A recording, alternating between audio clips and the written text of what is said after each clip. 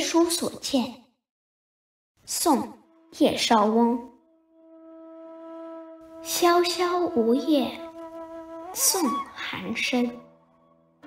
江上秋风动客情。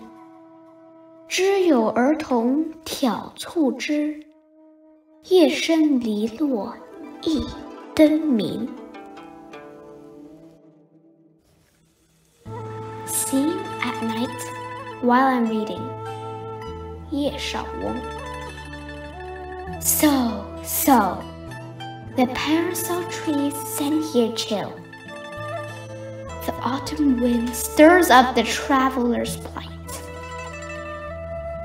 Children must have played with the crickets shrill, because a lamp's left there by the fence at